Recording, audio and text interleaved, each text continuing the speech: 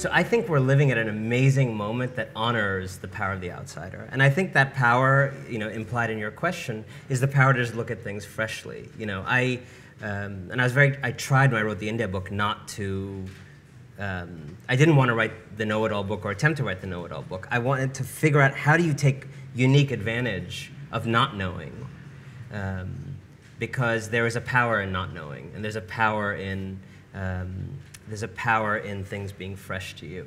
Um, and I look at whether it's President Obama or Trevor Noah or any number of the, the literature and a number of people who are cross-cultural authors who write fiction now.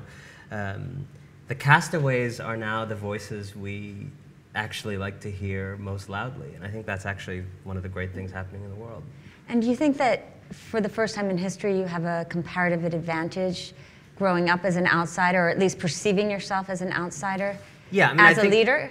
I think that's the case. I think, I think it's also the case that there are still a large number of these people who are very poor and who are treated horribly in between these countries. And if you're a Latvian in Russia, it's still a problem.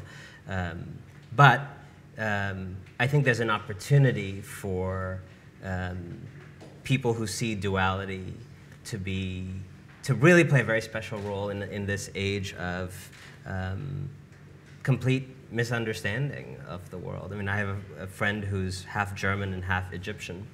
To watch her, you know, constantly pivot in her mind between these, the society of intense order and the society of loving chaos, and the, and the way she's able to hold both gives her a power in seeing the world. Just to cite one example of one person, that really you just imagine in any boardroom, any situation, any fellowship you'd throw her into would just be make her immensely powerful relative to someone died in kind of one world.